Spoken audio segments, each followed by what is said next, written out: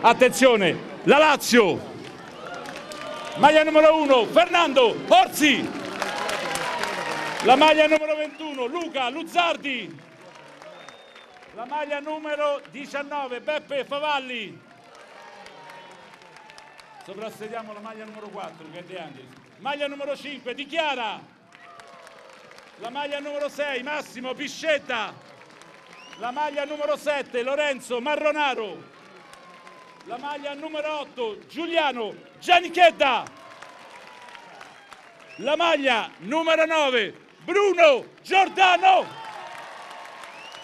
La maglia numero 10, Stefano Fiore. La maglia numero 11, Bernardo Corradi.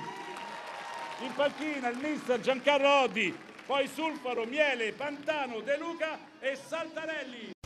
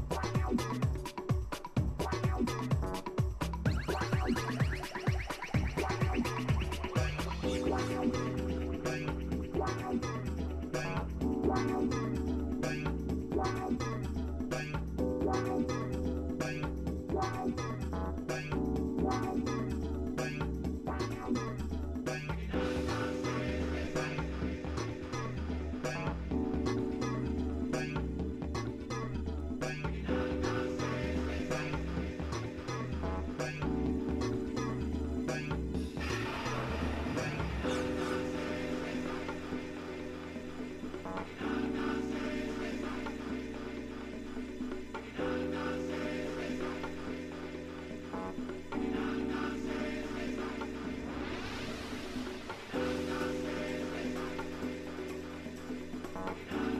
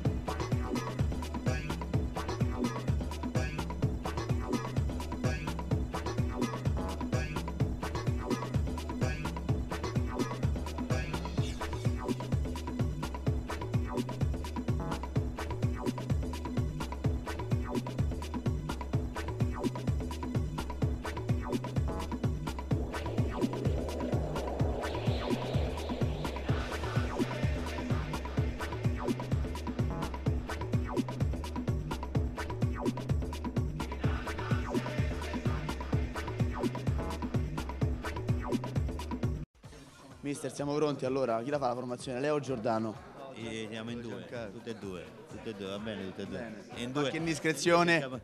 Eh, ancora, ci abbiamo ancora dei dubbi. Dovete che fa giocare a centravanti, non lo so, sono indeciso. Bruno, tutto bene? Sì, bene, bene. Poi quando si parla di solidarietà, insomma, eh, ci siamo, dai. Quanti gol prometti oggi? No, no, promesse niente. Già è un successo se usciamo dal campo tranquilli, senza, senza un problemino fisico, insomma. Già quello è un grande successo, ma soprattutto speriamo che ci sia una bella cornice di pubblico, che la gente si possa divertire.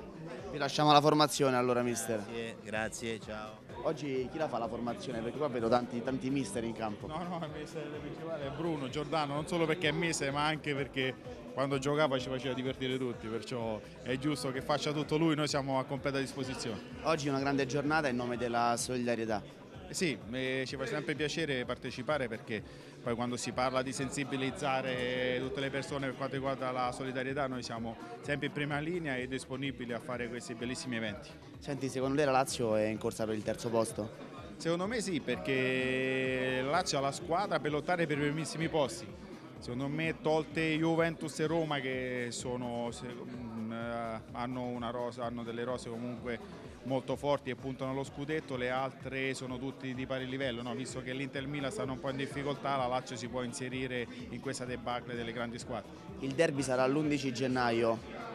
Tu ricordi un derby del 6 gennaio che fu insomma clamoroso per il risultato e anche per la differenza tra le due squadre. Che derby ti aspetti quest'anno? Ma speriamo intanto che gennaio porti bene come fu quel 6 gennaio lì. È un derby, un derby difficile perché il derby è sempre una partita a sé. Come ho detto prima, la Roma è una squadra attrezzata per vincere lo scudetto, però la Lazio secondo me è una buonissima squadra e può sicuramente vincere la partita. Sono queste cose che accettiamo sempre ben volentieri perché sono cose che, fanno- che ci fanno star bene, ci fanno stare insieme. Speriamo venga anche un po' di gente a divertirsi e così la giornata è perfetta. Tanti vecchi amici, vedo tante conoscenze, abbracci. Chi è quello che sta più in forma, che non è cambiato? Ma direi senza- Oltre a te. No, no, beh, senza dubbio Bernardo, dai, Bernardo, ma anche perché ha smesso, ha smesso da poco, dai. Poi gli altri, a dire il vero, hanno qualche, età in più- eh, qualche anno in più, però si mantengono tutti bene, anche se oggi, come sempre, dai, quelli più giovani ci sarà da correre un po' di più anche per loro. C'è qualche polemica con il mister per partite da titolari oppure oggi no? No, no, dai, abbiamo fatte tante da giocatori, no, no, oggi assolutamente no. Senti, un'ultima domanda. Lazio in corsa per il terzo posto oppure secondo te è un discorso che non riguarda la squadra di Pioli? Ma diciamo che non dovrebbe riguardare la Lazio di Pioli, secondo me, non tanto perché non, non- non ce ne sono le possibilità, ma perché parlandone probabilmente si, si ottiene l'effetto contrario. no?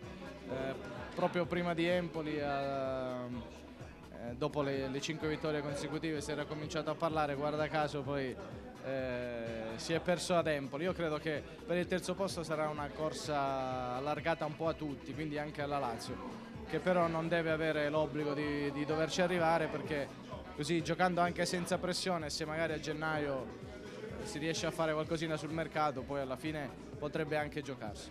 Sì, siamo venuti, siamo venuti con voglia anche perché insomma al di là del fatto di fare una cosa utile socialmente si riesce a stare insieme, a fare una partita, a rivedere insomma giocatori che hanno fatto anche la storia del Lazio e la storia del Frosinone, quindi siamo venuti molto volentieri. Passiamo al campo, oggi partirai da titolare.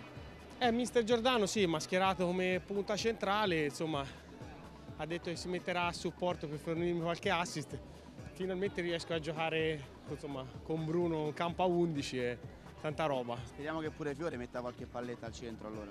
Sì, ma beh, con lui ci ho giocato anche le partite ai vere, come vecchi tempi, però c'è curiosità perché insomma Bruno è stato credo uno dei giocatori italiani più forti che, che, insomma, il calcio italiano abbia, abbia conosciuto e quindi c'è. Poi lo vedo giocare a calciotto anche durante la settimana, insomma, bello. La Lazio è in corsa per il terzo posto. La Lazio sta facendo bene, secondo me alcune volte ha, ha sbagliato il passo decisivo, però credo siano anche, non so, forse scosse di assestamento perché è, una è un progetto in divenire, è una squadra che comunque il mister ha, ha cercato di, di plasmare dall'inizio, è incappata in alcuni passi falsi, però nel computo totale credo che fino adesso abbia fatto la, la propria strada, la propria storia. L'attaccante tra Close e Giorgevic, quale ti piace di più? Vabbè, io non credo si possa fare un paragone perché hanno due storie diverse. Eh, Close non più tardi di cinque mesi fa ha giocato un mondiale da protagonista, ha alzato al cielo il trofeo più importante che c'è, è il giocatore per segnato più in una fase finale dei mondiali, quindi non, so, non credo possa essere paragonato a tanti giocatori. Eh, Giorgevic sta facendo molto bene il suo primo campionato e deve continuare perché insomma la Serie A è molto difficile, e sarà, è molto difficile quest'anno, sarà molto difficile il prossimo anno che lo conosceranno meglio, però insomma io non credo si possa creare un dualismo fra questi due giocatori.